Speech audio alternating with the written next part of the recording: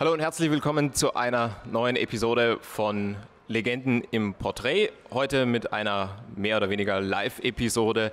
Wir haben nämlich eine lebende Legende zu uns gebracht und dafür sage ich in erster Linie schon mal Dankeschön.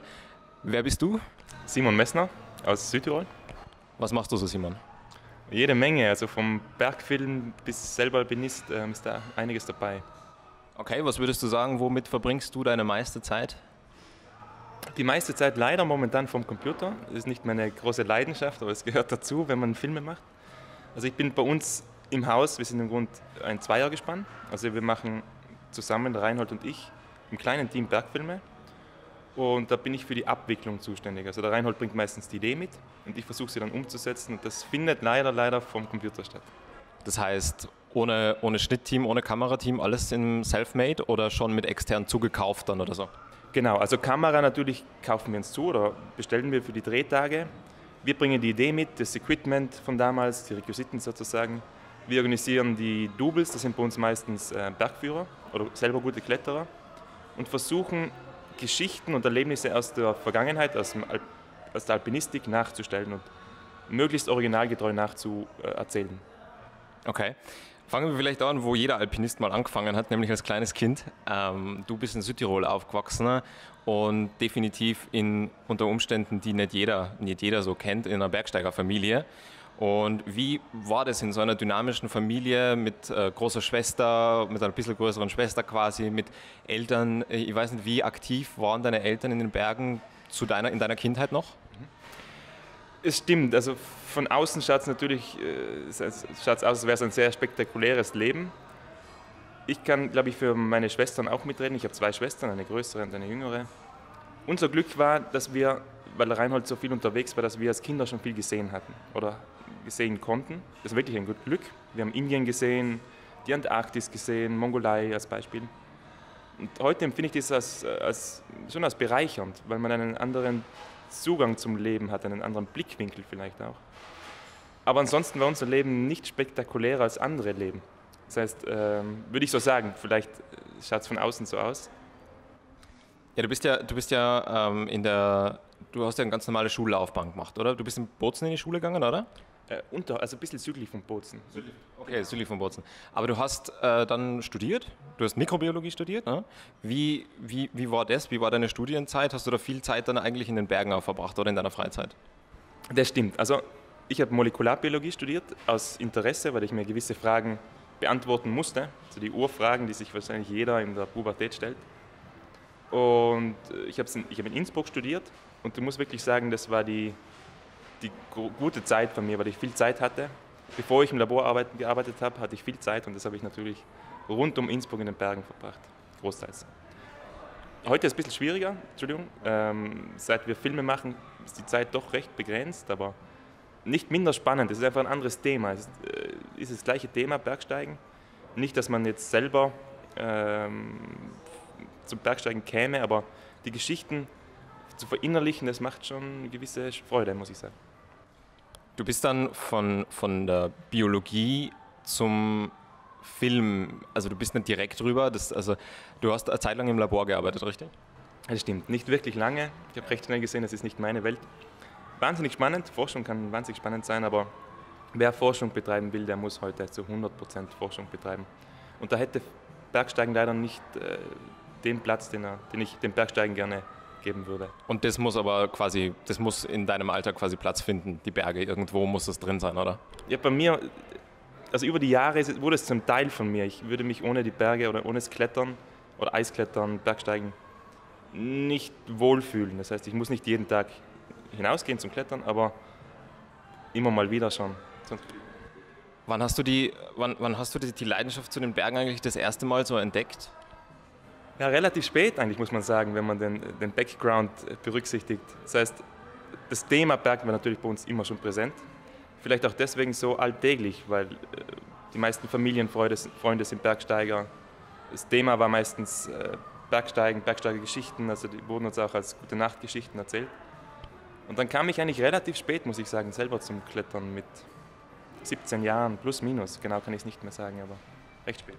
Also du hast dann, ähm, hast du eigentlich Erfahrungen gerade beim Klettern nur mit deinem Vater zusammen gemacht, so wie man das quasi von vielen anderen Geschichten kennt? Der Vater nimmt den Sohn sozusagen mit und dann geht man gemeinsam in die Berge, gemeinsam klettern oder war das dann eine unabhängige Geschichte schon, weil du quasi schon über die Pubertät hinaus sozusagen warst? Das war, also es war nicht ganz der klassische Zugang. Ich habe ein paar Touren natürlich mit dem Reinhold gemacht, aber eher ein bisschen später. Also entdeckt habe ich das Klettern mit einer Freundesklicke, also mit meinen Freunden, die haben alle geklettert, sind alle geklettert, und die mich mitgenommen.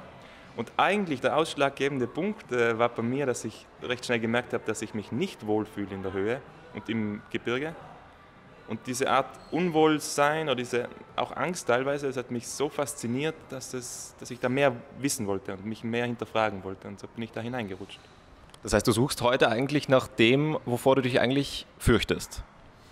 Ja, teilweise kann man das so sagen, doch, doch. Also ich fühle mich nicht äh, unbedingt sehr wohl beim Klettern, meistens schon heute, aber es gibt auch Momente, wo ich äh, mit der Höhe nicht ganz zurechtkomme.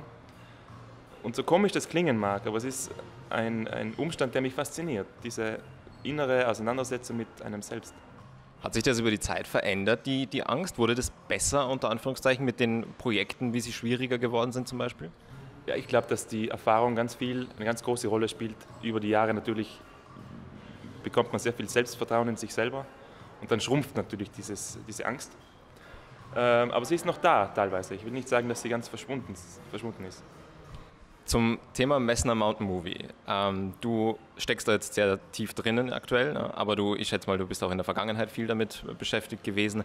Wie ist es zustande gekommen? Dein, dein, dein Vater war wahrscheinlich der mit der Idee oder bist du als jemand dahin gegangen und hast gesagt, ich finde das so genial, diese Idee? Also die Idee kam ganz äh, klar vom Reinhold. Ich hatte mein Studium fertig und war gerade im Labor beschäftigt und ähm, wusste nicht genau, was ich machen will. Und da kam einmal der Rainer zu mir ins Zimmer und hat gemeint, ähm, Simon, wir machen Bergfilme. Das ist viel gescheiter, als im Labor zu stehen. Und da hat er recht, also da hat er mich gleich äh, gecaptured sozusagen. Und seitdem machen wir Bergfilme. Ähm, wir haben einige schon gemacht, das ist, ich weiß nicht genau, 13, 14 Filme wahrscheinlich in den letzten Jahren. Sehr viel für eine so kleine Firma. Und ich würde es gerne ein bisschen zurückstecken, wieder um mehr selber bergsteigen zu können. Das heißt nicht, ich will es lassen, aber... Aber darüber finanzierst du die jetzt quasi aktuell? Nein, das kann man so gar nicht sagen. Also wir stecken sehr viel privates Geld in diese Filme. Mhm. Aus Überzeugung, weil der Reinhold äh, diese Filme machen will, um auch die Geschichten nicht in Vergessenheit äh, zu geraten, geraten, zu lassen. Mhm. Das heißt, leben tue ich das nicht wirklich davon. Das heißt, es ist eher ein, meine Begleiterscheinung, also leben tue ich schon von als, als wir Freelance, also kommt einiges zusammen, Freiberufler im Grunde. Ja, ja. Mhm. Okay. Aber du bist als, als Hobby oder vielleicht auch teilweise beruflich Alpinist. So bezeichnest du dich selber, du bezeichnest dich auf deiner Website als Alpinist und selbst wenn man sich dein About Me anschaut, da steht relativ wenig über dich. Und das ist doch sehr ungewöhnlich für einen Alpinisten, wenn man manche sich heute anschaut, da geht es schon sehr stark darum, sich selber auch zu vermarkten. Jetzt ist es doch ungewöhnlich, dass du ähm, mehr selbst in deiner über dich Homepage darüber äh, darauf eingehst, wie wie, wie, die, wie, wie der Alpinismus funktioniert und nicht so das, das, der Simon Messner persönlich. Jetzt wäre meine Frage, was, weil du schreibst, du bist kein Profisportler und du bist kein Sportkletterer. Was ist für dich der Unterschied zwischen einem Profisportler und einem Alpinisten? Mhm. Also eine gute Frage. Im Grund, ähm, auch ein Alpinist kann ein Profisportler sein. Das will ich gar nicht so behaupten. Aber ich will nicht vom Klettern selbst leben müssen. Ich kann mir vorstellen, dass viele sich vorstellen, das muss das Großartigste sein und viele junge Kletterer vielleicht äh, wünschen sich das eines Tages davon leben zu können. Aber ich will das nicht, weil ich vielleicht ähm, anders als viele andere weiß, was dahinter steckt. Das heißt, ich will mir die Freiheit behalten, und, um das tun zu können, was ich tun will. Und wenn ich ein Jahr nicht klettern will, dann äh, will ich ein Jahr nicht klettern und versuche mich irgendwie über Wasser zu halten. Das heißt, ich will versuchen, es ist ein Versuch, nicht davon leben zu müssen, und ich sehe mich auch nicht als, als irgendwie herausragend, also als herausragender Alpinist, sondern ich sehe mich eher als Teil vieler Alpinisten oder Teil von vielen, als Stellvertreter vielleicht, äh, die leider immer weniger werden. Also traditionelles Bergsteigen sehe ich schon auch in den letzten Jahren nimmt ganz stark ab. Ähm, schade, verstehe nicht genau wieso, aber Glaubst du, glaubst du, liegt es an der, an der Erhöhung der Sicherheit in den Bergen, dass wir immer mehr äh, Kletterhallen bauen, wo wir sehr sichere Umgebung haben, mehr, immer mehr Klettersteige haben, wo quasi der Alpinismus so lange bearbeitet wird, bis er zur Spielwiese wird oder, oder ist das einfach nur die Nachfrage danach? Ja, ich glaube, das, das, hast du richtig beschrieben. Ich glaube, dass unsere Gesellschaft, also nicht nur das Klettern betreffend, sondern die Gesellschaft diese Sicherheit verlangt. Das heute, alles, was man macht, muss sicher sein. Ähm, das heißt, die, Eigen, die, Selbstver die Eigenverantwortung wird einem Bürger sozusagen heute beinahe aberkannt. Ist ein, bin ich nicht ganz sicher, ob das der richtige Weg ist. Beim Klettern sicher nicht, beim Bergsteigen. Aber vielleicht geht es auch beim Klettern dahin, dass, dass die Leute vor allem konsumieren wollen. Sie wollen, wenn sie zwei Stunden Freizeit haben, in diesen zwei Stunden möglichst viele Routen klettern und die sollen möglichst sicher sein.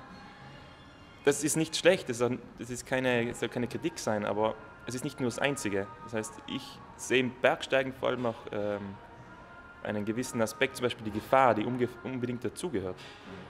Niemand will umkommen im Gebirge, aber die Gefahr gehört trotzdem dazu. Also jetzt ohne da viel Vergleiche anzustellen, anzustellen ähm, man hört in gewisser Weise schon auch viel aus von dir, was man auch von deinem Vater hört. Also sehr viele Überschneidungen. Ähm, ich kenne viele Bücher von ihm und, und da steckt schon sehr viel auch drinnen. Und es ist ja ganz normal, dass wir aus unserem Elternhaus immer so ein bisschen was mitnehmen. Äh, was glaubst du, hast du von deinem Vater mitgenommen, wenn du heute selber in den Bergen unterwegs bist und vor allen Dingen Projekte suchst? Oh, das ist eine schwierige Frage. Also natürlich ganz klar, das will ich überhaupt nicht leugnen. Natürlich bin ich von meinem Vater beeinflusst worden.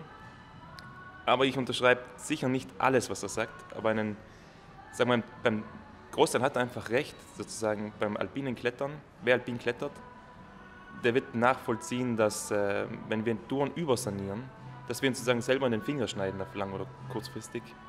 Das unterschreibe ich sofort.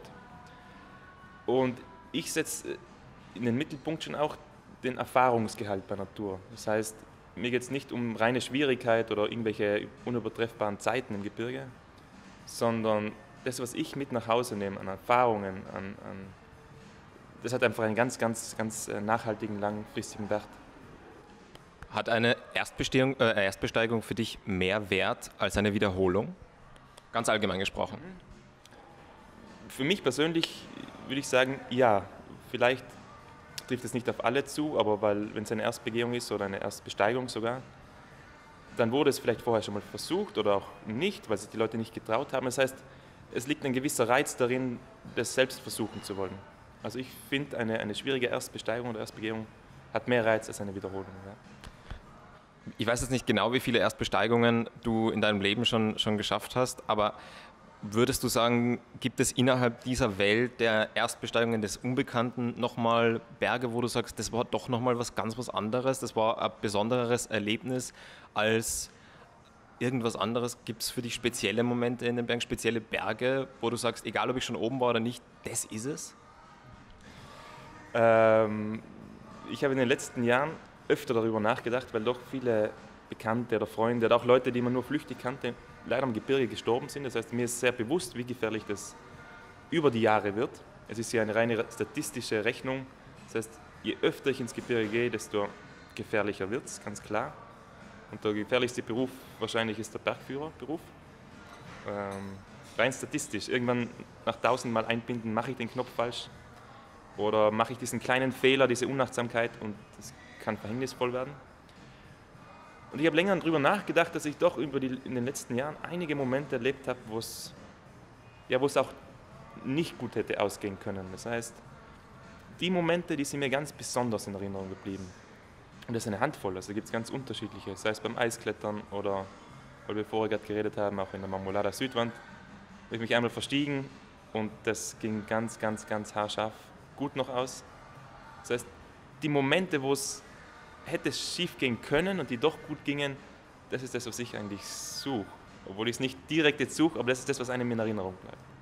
Das ist wahrscheinlich auch die logische Konsequenz. Je weiter man es an die Spitze treibt, desto, desto eher kommt man in solche Situationen. Aber was macht es dann mit einem, wenn man wirklich in diesen grenzwertigen Situationen äh, überlebt? Bleibt es nachhaltig auch bestehen und vor allen Dingen, inwieweit wirkt sich das auf die Zukunft dann aus?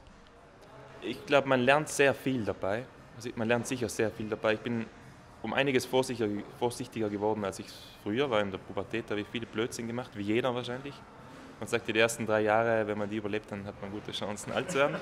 Das stimmt wahrscheinlich, das stimmt wirklich. Im Nachhinein muss ich das, muss ich das betonen. Mm, hm. Ja. Was macht's mit einem? Ja, ich glaube, mich hat's sehr viel, das Gebirge sehr viel Demut gelernt und das schätze ich so sehr am Gebirge, weil ich, weil ich diese Ehrlichkeit schätze. Also das Gebirge ist einfach nur da und es ist nicht wertend. Das heißt, wenn jemand einen Fehler macht, dann bin ich das. Oder wenn ich eine Fehlentscheidung treffe, dann muss ich damit klarkommen. Und diese Ehrlichkeit, das hat mir von Anfang an schon imponiert und das ähm, gefällt mir so sehr am Gebirge. Ist versicherter Alpinismus, also Alpinismus über unzählige Bohrhaken, Pläsierrouten, Klettersteige, unehrlich? unehrlich würde ich nicht sagen. Ich würde es gar nicht als Alpinismus bezeichnen, sondern als eine andere Tätigkeit, die ja legitim ist. Ich finde, jeder soll im Gebirge das machen dürfen, was er machen will, sofern er niemand anderem in die Quere kommt oder niemanden verletzt natürlich. Also Ab, Ab, ähm, Alpinismus ist von mir, von meinem Standpunkt aus, ähm, ein Tun. Also ich gehe dorthin, ähm, wo möglichst wenig Infrastruktur ist. Also ich versuche den Ganzen auszustellen, um mich selbst, meine Fähigkeiten zu, zu erproben, wenn man so will. Das heißt, diese, seine Spruchklettern und auch Klettersteige kann es im Gebirge geben. Nicht zu viele, jetzt sind es sehr überhand, finde ich. Aber ich finde, man muss eine, eine Konstellation finden, wo alles koexistieren kann, ohne dem anderen zu schaden. Glaubst du, dass der spielerische Alpinismus oder Alpinismus unter Anführungszeichen, der jetzt immer mehr Einzug hält, weil auch immer mehr Nachfrage herrscht, irgendwann diesen ursprünglichen Alpinismus in seiner Rolle als Nischenprodukt komplett verdrängen wird? Oder anders gefragt, siehst du dich in deinen eigenen Möglichkeiten immer weiter eingeschränkt? Ist ganz klar, weil die meisten der bekannten Berge sind, oder fast alle bekannten Berge sind bestiegen. Es gibt zwar noch viel mehr unbestiegene Berge, als wir alle meinen. Das heißt, 6000, da gibt es jede Menge. Also in der, es, wird immer, es wird sich, werden sich immer Leute finden, die auch diesen, diese Art des Alpinismus betreiben werden, aber es wird schwierig werden. Und ich sehe es eher so, dass wir uns selbst in den Finger schneiden, wenn wir in den Alpen zum Beispiel die Berge weiter übersanieren, weil wir einfach keinen Platz irgendwann mehr haben. Das heißt, irgendwann ist alles erschlossen und somit verbraucht auch. Also ich verstehe, dass jemand Sportklettern gehen will und irgendwelche Plaisierrouten klettern will, tue ich auch ab und zu ganz gern. Die Frage ist nur, wie weit will man das noch vorantreiben? Wie viel Platz will man sich noch wegnehmen, auch den zukünftigen Generationen? Es ist eine schwierige, es ist eine, schwierige, ist eine berechtigte Frage, eine schwierige Frage. Ähm, aber ich glaube, ich kann den Trend schon ein bisschen erkennen. Ich glaube, es kommt wieder langsam, langsam kommt dieser Wille, Erfahrungen zu machen, der kommt wieder zurück. Glaube ich schon. Bist du deswegen in den letzten Jahren auch eher aus den Alpen raus und ich meine, du bist im Oman unterwegs, du bist in Patagonien, Karakorum.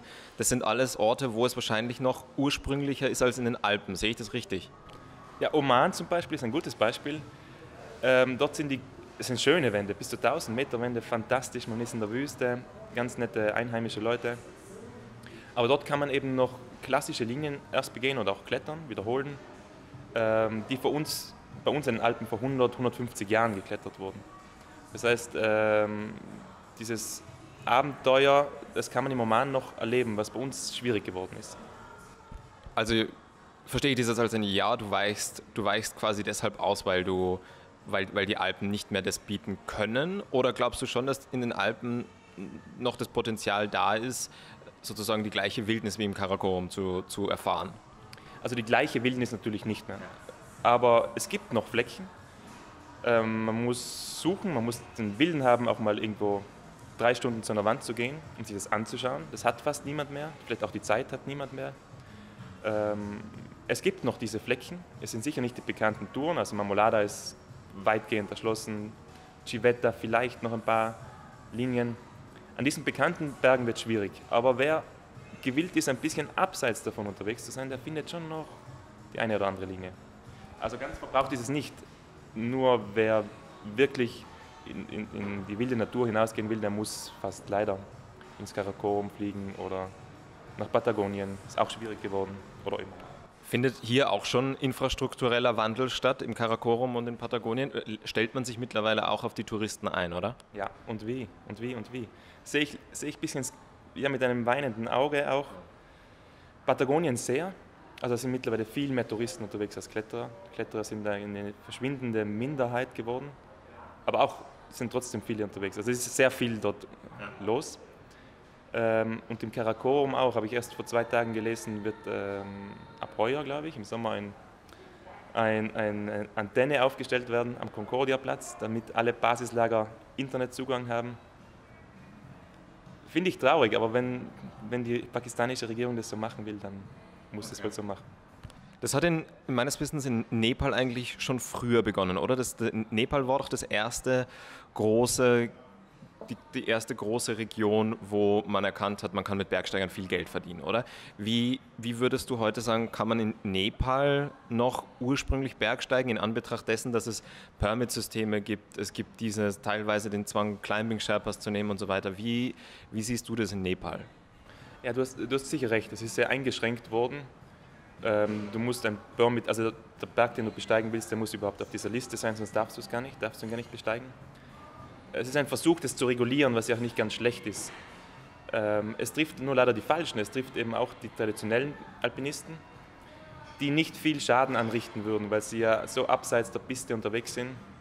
Aber diese Regulierungen wurden ja erschaffen, um diesen Menschenstrom, der am Everest zum Beispiel jedes Jahr äh, sich trifft, um zusammen sozusagen als eine internationale Riesenexpedition, kann man ruhig so sagen, den Gipfel zu erreichen diese Leute, das muss man auch irgendwie regulieren, weil da liegt so unglaublich viel Müll dort herum. Wir sind vor ein paar Jahren für, unser, für eines unserer Filmprojekte dorthin geflogen und hätte ich es nicht selber gesehen, das Basislager, ich würde es nicht glauben. Es ist eine kleine Stadt, es ist unglaublich, was dort los ist. Wie viel, wie viel siehst du eigentlich auf deinen Filmreisen, wovon du schockiert bist in Anbetracht des Tourismus? Ist es, ist es so, dass einem das, die, der Einblick irgendwo auch die Faszination dann letztlich nimmt? Oder bist du so abgelegen unterwegs, dass du, dass du eigentlich das Gefühl hast, wow, da geht nur was? Ja, beides. beides. Es ist ein, ein großes, äh, ich sehe es als, großes, ähm, als große Chance für mich, haben andere vielleicht nicht. Also ich sehe beide Seiten. Ich sehe, was am Everest passiert oder mittlerweile auch an Annapurna, am K2, also es trifft auch die anderen nach Tausender langsam, langsam. Ist, äh, seit ich das gesehen habe, bin ich absolut überzeugt, dass ich das nicht machen will. Es fehlt mir vor jeder Sinn, ich verstehe den Sinn dahinter nicht, in Gänsemarsch da hinaufzusteigen, aber das soll jeder machen dürfen. Andererseits sehe ich aber auch dadurch äh, Berge, die vielleicht unbestiegen sind oder mal Wände, wo es noch eine Möglichkeit gäbe. Das heißt, ich profitiere schon davon. Mhm. Zum Thema K2, weil du das jetzt gerade angesprochen hast. Die, der, der K2 wurde jetzt im Winter das erste Mal bestiegen. Das war eine medial unglaublich aufgeblasene Sache. Es war in Social Media viel, es war sogar in den Nachrichten, in jeder Zeitung ist es gestanden das hätte man vor 30 Jahren nicht unbedingt erwartet, dass die Tageszeitungen über die Besteigung vom K2 im Winter berichten, weil eigentlich ist doch Alpinismus doch noch nischig, oder? Also dieser traditionelle Alpinismus. Ja gut, da kam sehr, sehr viel zusammen. Es war der letzte 8000er, der im Winter bestiegen wurde. Es ist der zweithöchste Berg. Er wurde von Nepalesen erst im Winter bestiegen. Das finde ich eine schöne Sache, sehr wichtig für Nepal, weil die, die Sherpa mittlerweile so gut sind, es gibt eine Handvoll Sherpas, die sind unglaublich stark, konditionell. Technisch vielleicht nicht ganz auf der Höhe der Europäer, aber konditionell auf alle Fälle. Und es steht ihnen zu, es war sehr wichtig. Ähm, aber mich interessiert das am, eigentlich, muss ich es ganz ehrlich sagen, am Rande nur. Das, äh, wobei, wenn man in die Geschichte, wenn man zurückschaut, dann waren die Erstbesteigungen nach Tausender schon immer eine sehr große nationale Angelegenheit. Ja, früher war, früher war es ja wirklich, also national, ne? die deutschen Expeditionen waren ja für Deutschland ausgelegt im Prinzip. Aber ist es heute noch so, dass eine Expedition, sei es jetzt um eine Erstbesteigung irgendwann zu machen oder ganz generell, die ist nicht mehr sehr national geprägt oder es geht doch eher mehr ums Individuum, oder? Das kann jeder leben, wie er es will. Ich kann das gar nicht pauschal sagen. Bei der K2-Besteigung war es ganz sicher ein altes Muster. Das heißt, die Nepalesen mussten und sie wollten unbedingt diesen Berg für sich besteigen und sie haben es getan und die Europäer eben nicht. Das haben den Europäern auch gezeigt, wer jetzt äh, also sagt man, ähm, vorreitend unterwegs ist. Ja. Dieses Event der K2 war eigentlich ein Paradebeispiel dafür, wie dominant Social Media eigentlich sein kann. Wenn man die Facebook-Kanäle der, der Sherpas verfolgt hat, es war unglaublich, mit was für einer Welle der Aufmerksamkeit die erschlagen worden sind eigentlich. Und sie haben das natürlich zu Recht vollkommen intelligent genutzt. Jetzt bist du auch in den sozialen Medien unterwegs und trotzdem bist du aber auch ein Kritiker des Influencer-Dasein, sagen wir mal, das nennen wir es so. Was, was fällt dir beim Begriff Influencer ganz allgemein im Bergsport ein? Ja, schwieriges Thema. Ähm, also ich will ganz am Anfang sagen, ich habe auch einen Instagram-Account und ich habe auch einen Facebook-Account. Habe mich lange dagegen geweigert, weil ich nicht wirklich den Sinn darin, darin verstehe in den sozialen Medien. Also nicht, wie es heute praktiziert wird. Ich sehe auch eine gewisse Gefahr darin, also spätestens seit der Wahl des letzten US-Präsidenten Donald Trump, diese, muss diese Gefahr einfach fast jedem bewusst werden. Das heißt, man wird auch manipulierbar, wenn Nachrichten auf einen selber zugeschnitten sind. Aber es ist was anderes. Das Influencertum, ich kenne natürlich auch einige Influencer, wie man sie nennt, kann jeder sein. Also ich will das nicht irgendwie schlecht dastehen lassen. Nur untergräbt den Alpinismus, wie ich es finde. Das heißt, es nimmt dem Alpinismus ganz viel Glaubwürdigkeit, weil Leute, die im Winter irgendwo hinausgehen, in einer verschneiten Landschaft ein Bild von sich zu machen mit einem Eispickel, so, das hat nichts mit Alpinismus zu tun. Das heißt, die Leute, denen das zustehen würde, diese Aufmerksamkeit, die wirklich guten Leute, die haben zu kämpfen damit. Also es verschiebt sich das Bild. Weil wir auch Bilder so manipulieren können, unter Anführungszeichen, oder stellen können, dass es alles sehr ähnlich wirkt für den, für, für den Laien. Und der, der, der Fachmann, unter Anführungszeichen, der erkennt natürlich, dass hier im Hintergrund äh, ein kleiner Berg ist und, und kein K2. Ähm, glaubst du, dass Social Media trotzdem ganz allgemein für dich oder für den Bergsport per se auch was Positives haben kann? Oder ist es einfach nur Blödsinn, weil einfach zu viele Leute da mitspielen, die eigentlich kein Recht darauf haben sollten? Ist sehr schwierig. Wer hat ein Recht, wer hat kein Recht? Äh, das kann man so nicht sagen. Also ich sehe in den sozialen Medien leider kaum einen Vorteil für diese, für diese Sachen, weil, wie du sagst, sehr viel gestellt wird oder fast alles gestellt wird und die breite Masse das auch gar nicht hinterfragen will oder kann. Das heißt, für den, für den der sich wirklich auskennt, macht es natürlich einen Unterschied, ob ich im Alpinstil einen niederen Berg besteige oder ob ich im, auf einer präparierten Piste den K2 mache. Ist auch anstrengend, aber es sind zwei Welten, die überhaupt nicht vergleichbar sind. Das eine ist wirklich eine große Leistung im Alpinstil das andere, naja, haben schon viele, viele tausend Leute vor ihnen gemacht. Dass es verschwimmt und das, ich sehe das sehr kritisch und als, ja, es tut dem Alpinismus nicht gut. Und trotzdem profitierst du aber irgendwo indirekt auch davon, weil du ähm, durch die Reichweite, die du hast, oder wenn ich auch an andere Alpinisten oder ehemalige Alpinisten denke, die haben davon profitiert, weil Firmen auf sie zugekommen sind, weil ein, ein, ein, David Lama beispielsweise hätte Red Bull ohne Social Media niemals erhalten oder der Simon Gittel ist ja genauso ein Teil der ganzen, dieser ganzen Industrie im Prinzip. Also es ist doch am Ende ein zweischneidiges Schwert. Ja, es ist sicher ein zweischneidiges Schwert. Also ich... Auch für dich?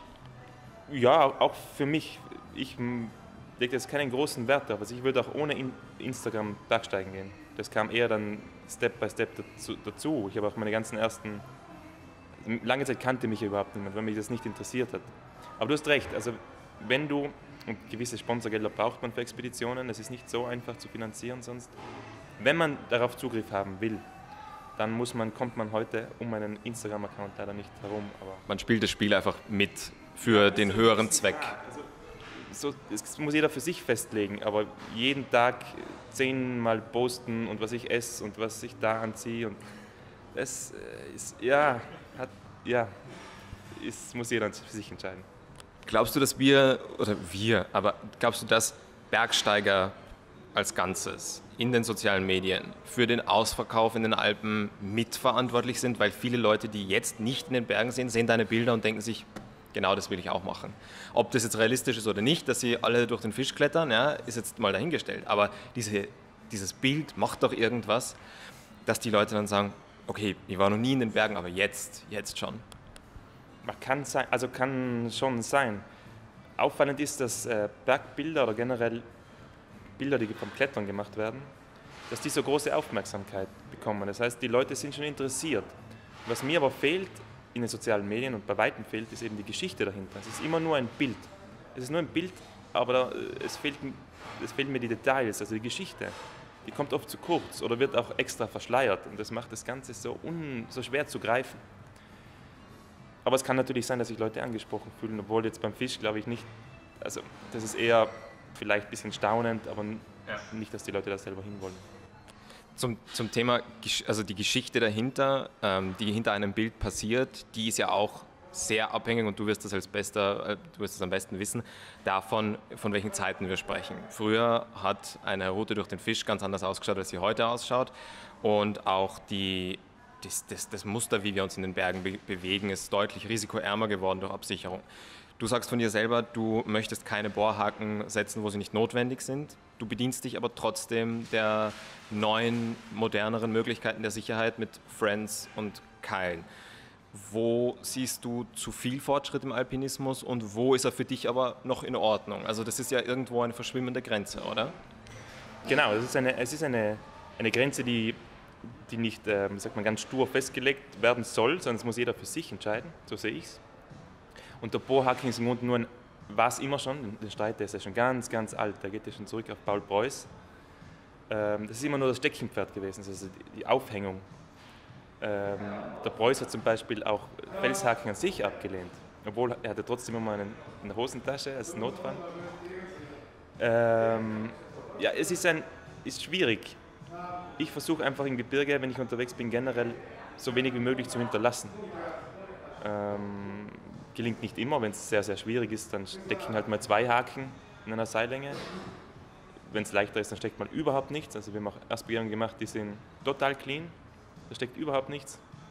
Da wenn in 20 Jahren wieder ein junger Kletterer hinkommt, dann kann er sie wieder erst begehen. Und das wäre von der Vorstellung für mich das Nachhaltigste überhaupt. Weil wir dann, es wird nicht verbraucht, also diese Route und die Erfahrungen, die kann eine Generation oder drei Generationen später kann genau gleich wieder gemacht werden. Was war deine erste Erstbesteigung äh, in Pakistan? Erzähl, vielleicht kannst du mal über Pakistan ein bisschen was erzählen, weil es doch nochmal was ganz was anderes ist als die Alpen, die ja viele auch hier kennen. Mhm. Ähm, also ich war schon öfter in Pakistan, muss ich sagen. Schon für ein Filmprojekt, das liegt jetzt schon sicher zehn Jahre zurück. Aber da war ich noch relativ jung und äh, habe das Land zwar kennengelernt, aber nicht das Bergsteigerische dort. Und ja, die Pakistan-Reise war für mich schon auch ein Augenöffner vor zwei Jahren, weil, weil diese Berge einfach unglaublich schön sind. Vor allem das Karakorum, das sind so schroffe, steile Wände. Ähm, und wir sind hingefahren und wollten im Grunde auch mit dem Hintergedanken, einen Film zu machen, rund um den Nanga Parbat. Wir haben den Berg umrundet, wir haben die Geschichte erzählt. Der Film wird jetzt in einem Monat ausgestrahlt. Ähm, wir haben die Geschichte erzählt, die einheimische Kultur versucht greifbarer zu machen und am Ende der Reise war unser Gedanke, dass wir einen äh, Berg erst besteigen wollen, der westlich vom Nanga Parbat liegt. Der wurde schon dreimal versucht. Er ist nicht wirklich hoch, also 6200 Meter. Aber das Interessante war, dass obwohl er dreimal versucht wurde, dass es nicht geglückt ist. Und erst als wir dort waren, äh, wurde mir klar, wieso.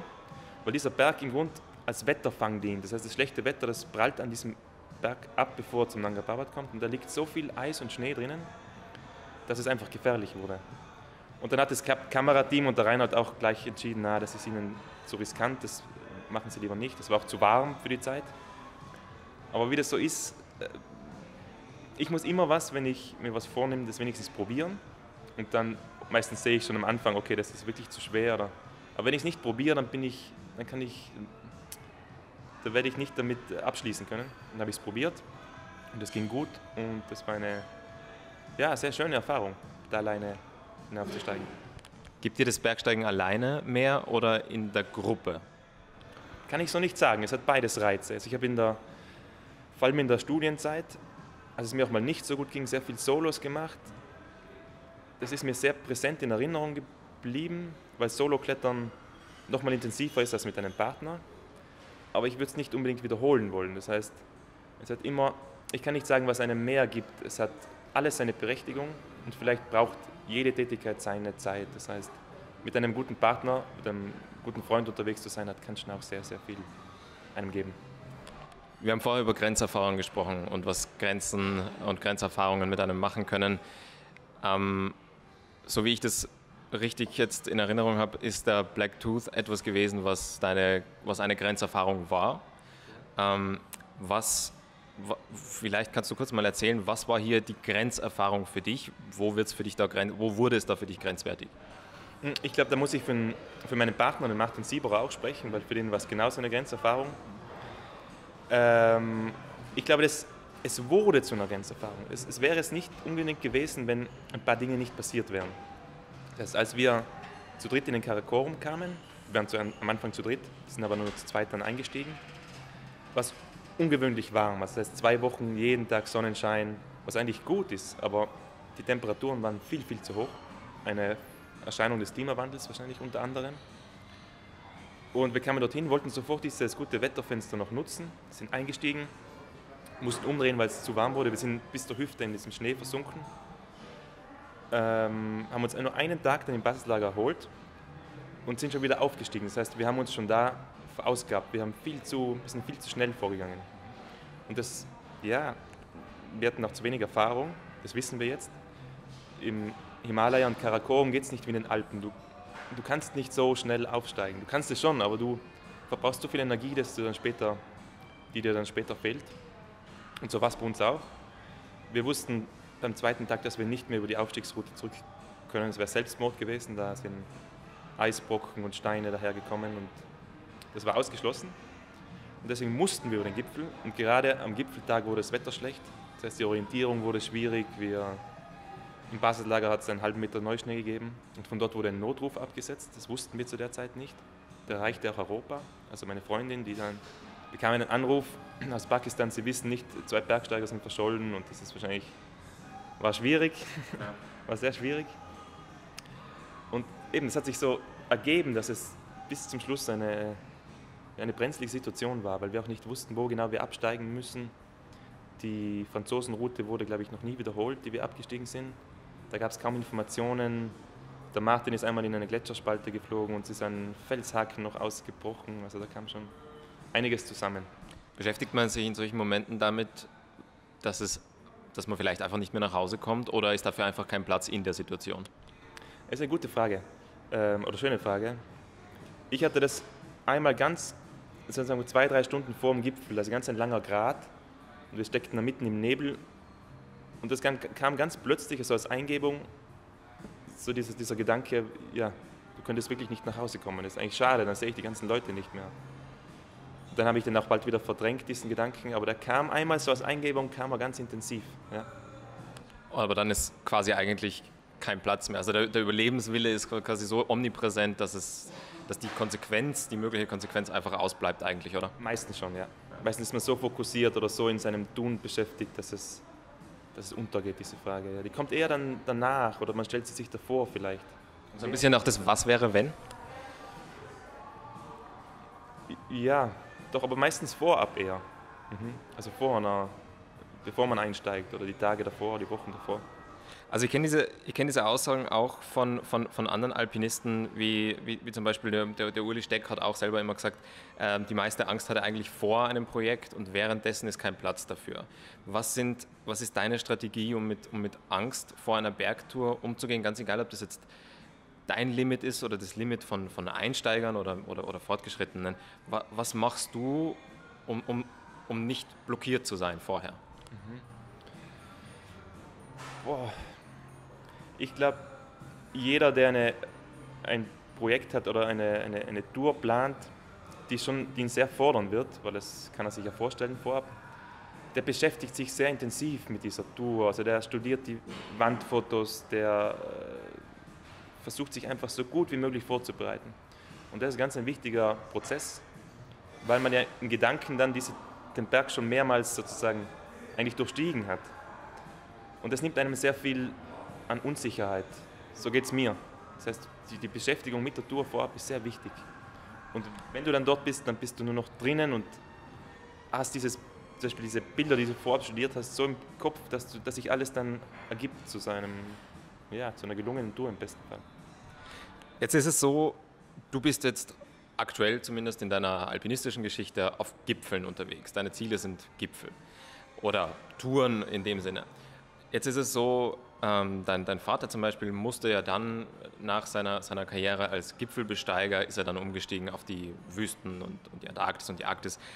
Ist es die logische Konsequenz, wenn man die, die für sich interessanten Gipfel erledigt hat, dass man die Abenteuer dann quasi in der Weite und nicht mehr in der Höhe sucht? Oder ist das ist das, ist das für dich überhaupt nicht interessant, solche Durchquerungen zu machen oder so? Wäre schon interessant, wäre jetzt auch interessant. Also ich wollte, habe es leider nie gemacht. Also ich hätte liebend gern zu Fuß die Teneré durchquert einmal. Habe es dann leider nach der Oberschule nicht getan. Schade, jetzt fehlt ein bisschen die Zeit. Das ist eine Ausrede, aber vielleicht kann man es noch machen. Ich glaube nicht, dass es eine logische Konsequenz ist. Also muss jeder für sich entscheiden. Und ich weiß auch nicht, was ich in zehn Jahren mache. Vielleicht ähm, bin ich Bauer und keine Ahnung. Also ich weiß, ich kann es nicht sagen. Du hast keine Projekte, von denen du träumst in dem Sinne oder von denen du sagst, ähm, in zehn Jahren möchte ich da sitzen können und dann hier erzählen können, dass ich das gemacht habe, zum Beispiel XY? Überhaupt nicht, ne? überhaupt nicht. Ähm, ich kann mir gar nicht, also ich bin mir gar nicht sicher, ob ich in fünf oder zehn Jahren überhaupt noch kletter oder bergsteige. Also es war bei mir immer so, ich hatte immer als, auch kind, als Kind schon eine Leidenschaft, der habe ich mich 100% gewidmet. Da kann ich auch gern für mich allein sein. Ähm, aber es hat sich immer so schlagartig äh, gewandelt. Ich war früher eben von Wüsten fasziniert als Kind, haben immer noch einen gewissen Reiz, aber diese Faszination bei weitem nicht mehr. Das heißt, ich kann nicht sagen, was in zehn Jahren sein wird. Und ich, aber ich bin sicher nicht einer, der da sitzt und sagt, in zehn Jahren oder in 20 Jahren will ich das und das erreicht haben. Überhaupt nicht. Wenn wir von der Zukunft nochmal kurz einen Sprung in die Vergangenheit machen. Was für ein Alpinist oder hast du alpinistische Vorbilder? Du hast gerade vor Paul Preuß angesprochen, ähm, aber auch zum Beispiel der Hermann Buhl war ja hier in Nordtirol sehr viel unterwegs. Jetzt wäre meine Frage, wie, wie verwendest du diese ganzen Infos, die ganze Literatur, die Bücher, die die geschrieben haben, Hermann Buhl Tagebuch beispielsweise und so weiter. Kannst du damit irgendwas anfangen? Gibt es dir irgendein etwas für dein heutiges Tun oder ist das einfach Vergangenheit, die passiert ist und abgeschlossen ist und du schreibst deine eigene Geschichte? Na, ist auch eine schöne Frage, danke. Ähm, ganz ein wichtiger Punkt und deswegen machen wir ja im Grunde auch Bergfilme. Also das ist auch ein Punkt, wieso wir Bergfilme machen wollen, weil da sind der Reinhard und ich uns einig, nicht immer, aber da schon, ähm, dass es Bergsteigen, also die Alpinistik, nicht nur äh, sich durch das Tun selber ergibt, also es ist nicht nur das Tun selber, das Bergsteigen, sondern auch das, die, die, die Summe an dem, was dazu geschrieben wurde, das heißt das Narrativ. Ganz, ganz wichtig. Und ich glaube, man kann die Entwicklung des Bergsteigens überhaupt nur verstehen, wenn man sich auch für die Geschichte damals interessiert und nicht nur fürs Bergsteigen damals, sondern auch die Gesellschaft, weil es gibt einen ganz interessanten oder es gibt meistens einen Bezug zwischen Bergsteigen und der Gesellschaft. Das heißt, die Anfänge, als, als man anfing, auf die Berge zu steigen, das waren vor allem Engländer, die, die waren sehr wohlhabend durch die Industrialisierung natürlich. Aber die einheimischen Bauern in den Alpen, die wären nie auf den Gedanken gekommen, da hinaufzusteigen. Es gäbe überhaupt, hätte überhaupt null, also keinen Grund gegeben. Aber sie haben recht schnell erkannt, dass diese Engländer, diese wohlhabenden Städter, bringen viel Geld mit, man kann Geld verdienen und dann sich Bergführerberuf hat sich etabliert und die Hütten wurden gebaut und es ist alles ein, das ein, ein Fluss sozusagen. Und ich glaube schon, dass es den jungen Leuten auch gut täte, wenn sie sich interessieren würden für die Geschichte. Glaube ich schon. Jetzt ist es aber so, dass selbst wenn man in die ganz weite Vergangenheit schaut, selbst wenn man auf die Erstbesteigung des Matterhorns schauen würde, dann schauen wir hier auf einen Wettlauf zurück. Wir schauen auf, auch im Himalaya in den Erstbesteigungen auf Wettläufe zurück, die, die Engländer am Everest, die Deutschen am Nanga Parbat beispielsweise. Was, was ist es, was den Wettkampf am Berg so spannend macht, deiner Meinung nach? Und vor allen Dingen, warum gibt es ihn heute immer noch? Wo wir doch heute schon eigentlich alles gesehen haben, mehr oder weniger. Ja, ich glaube, da überschneidet sich, da kommt eben dieser sportliche äh, Faktor ins Spiel. Sport ist reiner Vergleich, ist eben Wettkampf. Und Sport kann man messen. Also beim Skifahren kann man auf eine Millisekunde oder noch mehr, ich weiß nicht, genau messen, wer der Schnellste ist. Beim Bergsteigen eigentlich nicht, aber die Medien haben früher schon ähm, versucht, das hinein zu interpretieren. Also viele Wettkämpfe wurden auch von den Medien erfunden. Und das Matterhorn ist schon auch ein bisschen ja, von den Medien so ausgeschrieben worden, dass es zu diesem großen, großen Wettkampf wurde, glaube ich. Damals schon? Ja, doch, glaube ich, ja. Okay. Mhm. Aber sehr, Entschuldigung, sehr einseitig. Beim Matterhorn ist es sehr einseitig passiert, weil der Carell, der von Italien aufgestiegen ist, gar nicht wirklich schreiben konnte und der Wimper natürlich sehr gut schreiben konnte und so hat sich das Bild ja in einer unguten Konstellation ergeben. Also es ist immer auch das zieht sich auch durch die Geschichte. Also wirklich Bestand haben nur Leute, die auch selber geschrieben haben. Wenn jemand nicht gut schreiben konnte, wie ein Dülfer, der mehr Ton gemacht hat als ein Preuß, aber nicht so gut schreiben konnte wie der Preuß, geblieben ist eher der Preuß. Also es ist nicht. Also das heißt, Wettkampf ist weil wir es in der Geschichte auch schon immer gehabt haben, auch Teil des Alpinismus irgendwo oder zumindest, zumindest der Ansporn irgendwo vielleicht auch als erster oben zu sein. Weil heute haben wir ja Menschen im Bergsport, die ganz offensiv, Kilian Jornet, ähm, David Göttler, das sind Leute, die wollen jetzt als Sportler in die Berge und nicht mehr als Alpinisten. Ähm, ist das, gehört das einfach heute zu, dazu oder, oder weil du bist jetzt quasi das Gegenbild, du machst viele Touren, ohne dass irgendjemand etwas davon weiß und du hast keine, ich schätze mal nicht, dass du die Zeiten deiner, deiner Nordwende und so kennst, oder? Also wo, wo ist das, ist dein Wunsch, dass das am Ende hinführt? Also ich glaube, die Zeit war, hat immer schon eine gewisse Rolle gespielt, auch sei es nur damals vor 50 Jahren als Beispiel, um einfach seine Fitness einschätzen zu können. Ich habe nur drei Stunden gebraucht, also bin ich fit, also bin ich recht äh, fit momentan. Aber natürlich diese Zeiten, die ein Journet aufstellt oder ein Uli Steck, die sind natürlich für jeden, jeden greifbar. Zwei Stunden durch die eigene Notwand sagt einfach jeder, boah, in so kurzer ja. Zeit. Klar, das ist ein, ein es ist auch darauf, zurück, darauf zurückzuführen, glaube ich, weil der Alpinismus generell in einer gewissen Krise steckt. Das meiste wurde gemacht. Wie soll man, was soll man noch toppen? Alle 8000er wurden auf allen möglichen Routen im Winter, im Sommer allein bestiegen, ohne Sauerstoff. Was ist noch zu machen? Da gibt es eine Stellschraube, ist eben die Zeit. Aber es bringt den Bergste das Bergsteigen nicht wirklich weiter, glaube ich.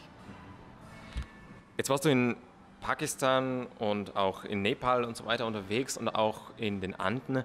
Wie viel, du, du, du hast es für die Filme wahrscheinlich gezwungenermaßen aufgedrückt, die Kultur der, der, der Völker ähm, dieser, dieser Gegenden dort, wie die Menschen mit dem Berg leben. Wie viel Kultur bleibt dir am Ende, wie viel Kultur bleibt hängen, wenn du wieder zurückkommst aus Pakistan beispielsweise? Das bringe ich wahrscheinlich mit, auch durch meine Vorgeschichte, weil ich als Kind schon so viel gesehen habe, also mich faszinieren diese Kulturen wirklich und ich spiele ein bisschen mit einem Gedanken, mit dem Gedanken, eine Doku-Reihe über Bergkulturen zu machen, weil dies, es ist so, man kann so viel lernen von diesen Leuten, die im Grunde mit nichts dort überleben können, wo wir Europäer keine Chance hätten zu überleben, wenn wir nicht die moderne Ausrüstung hätten. Ähm, aber es stimmt, also wenn man nach zwei Monaten Pakistan nach Europa zurückkommt, dann tut, also ich tue mir sehr schwer, dann wieder hier Fuß zu fassen. Ich fühle mich eigentlich dann fehl am Platz. Mir geht alles zu schnell, es ist alles zu sauber, es ist zu steril. Also es ist schon eine Kulturschock. Gleich das Ankommen bis Zurückkommen. Haben die, haben die Alpen keine Kultur? Doch, natürlich haben die Alpen eine Kultur, aber die verschwindet sehr, sehr schnell jetzt. In, Im Sein der Industrie wahrscheinlich, oder? Ja, wer ist noch heute bereit, als junger Mann oder junge Familie oder auch Frau natürlich, einen Bergbauernhof weiterzuführen? Es ist schwierig und ich spreche das an, weil ich selbst damit konfrontiert bin. Ich habe einen Hof geerbt bekommen. Ähm, ich weiß nicht, war gedacht, dass ich das führe. Ich, ich tue es eben auch nicht. Also es ist schon schwierig. Ähm, das Brauchtum weiterzubringen, es wird eine große Herausforderung für die Gesellschaft, weil sterben, man, sterben die ganzen Kulturgüter die Wiesen werden nicht mehr gemäht, die Höfe werden nicht betrieben, dann stirbt sehr viel auch unserer Landschaft. Also es ist schon ein gesellschaftliches Problem, das man sich überlegen muss. Ich habe vor kurzem mal die Frage gestellt bekommen, ob ich glaube, dass, die, dass das Karakorum, dass die, die, der, der Himalaya im, im, im gesamten Patagonien einfach nur 200 Jahre oder 150 Jahre hinter uns ist, also hinten nach ist. Ich war mit der, mit der Aussage nicht ganz einverstanden, aber jetzt würde mich natürlich aus deiner Sicht interessieren, glaubst du, dass es diesen Stand, den wir heute in den Alpen haben, in 150 Jahren, ist natürlich jetzt ja, Kaffeesatzleserei, aber in, im Karakorum auch geben wird? Ich glaube, dass der Trend dorthin geht. Also der Mensch will generell oder versucht äh, fortlaufend alles zu erschließen. Das liegt im Menschen drin. Zuerst will er es entdecken und dann will er es erschließen. Also der Trend geht ganz klar dahin. Aber ich glaube, es ist im Karakorum zum Beispiel einfach kann, es ist nicht möglich, das dort so zu erschließen, wie es wir in Europa haben weil die Ressourcen ganz einfach auch fehlen. Also wir in Europa haben den, das große Glück im Nachhinein und unser Wohlstand baut darauf auf. Aber in Pakistan wird es nie so sein, allein wenn wir das Straßennetz beobachten oder anschauen, wird Pakistan auch in 100 Jahren nicht das Straßennetz haben, wie wir es haben, weil einfach der Untergrund nicht trägt. Das heißt, die Straßen halten dort keine Wetter aus, diese großen Sturzbäche. Es ist schon ein Problem und ich glaube nicht, dass es so erschlossen wird bei Europa, glaube ich, kann ich mir nicht vorstellen. Also wir müssen uns nicht vor der ersten Seilbahn auf den K2 fürchten, noch nicht? Ja, das ist was anderes. Es ist eher, eher von Everest als, als Gag, könnte ich, das würde ich den Chinesen zutrauen. Die Chinesen. Eine teure Seilbahnfahrt, aber es wäre möglich, ja. Das heißt, Kultur spielt in den Bergen direkt auch eine Rolle für dich. Glaub, glaubst du, dass es für alle Menschen eine Rolle spielt, wie die Kultur drumherum funktioniert, oder glaubst du, zählt im Alpinismus eigentlich nur der Berg? Boah, das ist so eine allgemeine Frage. Für mich zählt es sehr viel. Also ich verbringe unglaublich gern Zeit mit den Leuten dort, auch nur zuschauend, also dabei sein. Ich will ja gar nicht mit, mich da einmischen, sondern ich schaue am liebsten zu und will verstehen, wie die Leute äh, ihren Alltag leben. Es wäre schön, wenn es mehr Leute interessieren würde, aber dass es alle interessiert, glaube ich, glaube ich nicht. Das ist heute schon der Trend. Generell, also der Bergsteiger an sich verändert sich ja auch. Wer heute zum Everest fliegt, ist kein durchschnittlicher Bergsteiger. Das ist nicht jemand, der sich das erarbeitet hat über viele, viele, viele Jahre, sondern der will sich das erkaufen, der will sich dieses Prestige erkaufen. Und das sind eher Manager oder wohlhabende Mitte 50-Jährige, die sich noch diesen Wunsch, die haben das Geld und wollen sich diesen Wunsch erfüllen. Aber es ist, kein Klasse, es ist nicht der klassische Bergsteiger, wie wir ihn uns vorstellen. Du hast mal gesagt, die 8000er interessieren dich nicht so wirklich. Ähm, das liegt wahrscheinlich auch daran, dass sie überlaufen sind. Und Würdest du aber auch sagen, dass ein 8000er wie zum Beispiel der Everest über die speziellen Routen oder das, was der Kilian Jornet jetzt probiert hat, über die Lotseüberschreitung und so, ist das auch etwas, obwohl kein Verkehr ist quasi dort, ähm, was dich trotzdem nicht reizt? Ja, am Everest zum Beispiel wirklich nicht. Dieser Berg ist einfach so verbraucht, dass das für jemanden, der sich auskennt, ja, der muss uninteressant werden.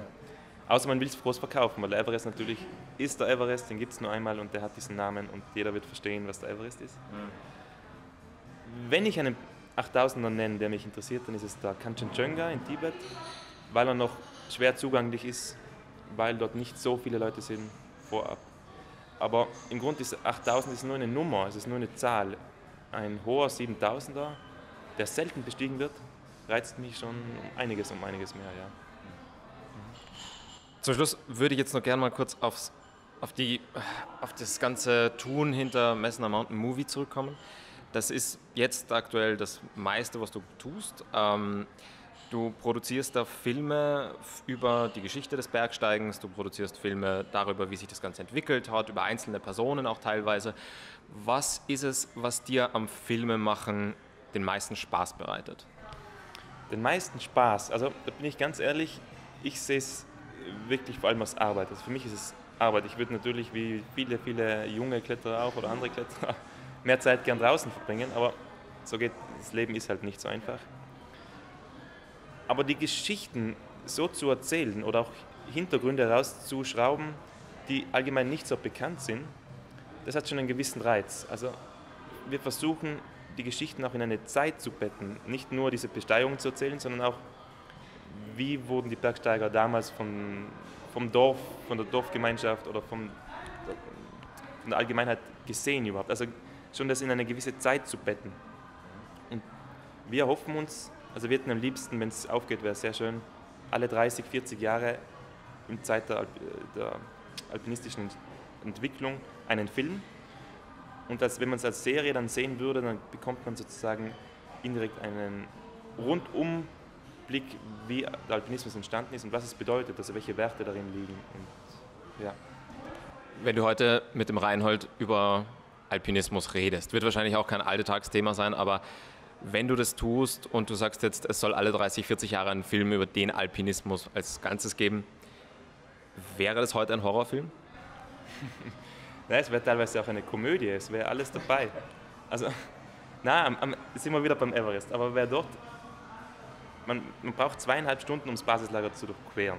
Das ist ein riesen kleines Dorf, wo Leute hinkommen, die auch total naiv sind, die dort das erste Mal Steigeisen anprobieren. Und also man sieht alles, alles, alles, alles. Ähm, es wäre Horror, es wäre Tra Tragödie, es wäre Komödie, es wäre alles dabei eigentlich. Nur mit Bergsteigen leider nicht mehr viel zu tun. In was für ein Genre würdest du deine bisherigen Filme, den Film über den Amada Blam zum Beispiel, packen? In was für ein Genre fällt der deiner Meinung nach? Ja, im Grunde dieses Genre ist schwer. Es ist. Äh, hm. Beim Bergsteigen kommt, es gibt ja alle möglichen Geschichten und alle möglichen Schlussfolgerungen, die man daraus ziehen kann. in dem Fall, äh, Amad Ablam ist schon eine Tragödie natürlich, weil jemand gestorben ist, weil aber auch dann nicht, weil die anderen drei haben eben überlebt. Das heißt, ich würde es gar nicht in ein Genre packen, es ist ein, ein Bergfilm, eine Geschichte, eine erlebte Geschichte in dem Fall, ähm, aus der man selbst, wenn man selber bergsteigt, auch viel mitnehmen kann. Du bist auch ähm, schon mal vor der Kamera gestanden, ähm, am Amada Blam.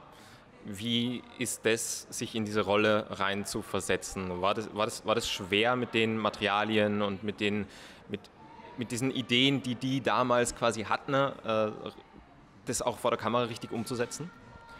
Also ich bin schon öfter vor der Kamera gestanden und eigentlich meistens als Doubles. Das heißt, wenn wir es gut gemacht haben, dann erkennt man mich nicht. Also äh, gehört auch dazu. Ganz einfach aus dem Grund, dass ich, wenn ich mit in der Wand bin beim Filmen und jemand double, dann habe ich es am besten im Griff, auch die an, also ich kann am besten kommunizieren mit dem Hubschrauber und so weiter.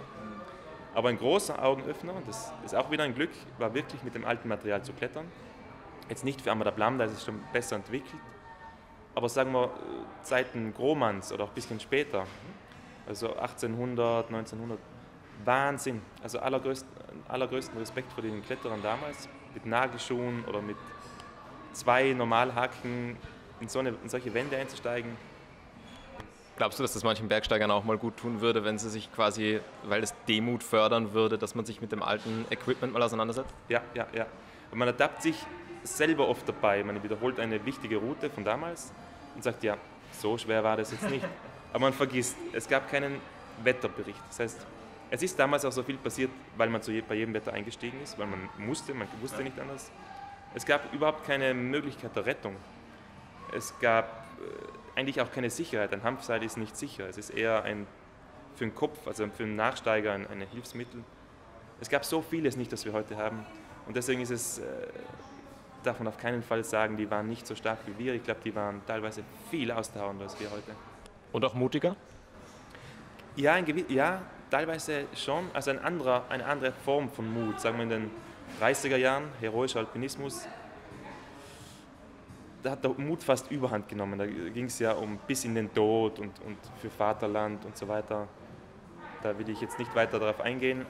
Aber äh, man hat mehr riskiert vielleicht damals, würde ich schon sagen im Großen ja. Werden in Zukunft auch, also ich weiß, Zukunft kann man jetzt viel auslegen, aber werden, wird bei Messner Mountain Movie irgendwann auch nochmal ein Fokus auf die Alpen fallen?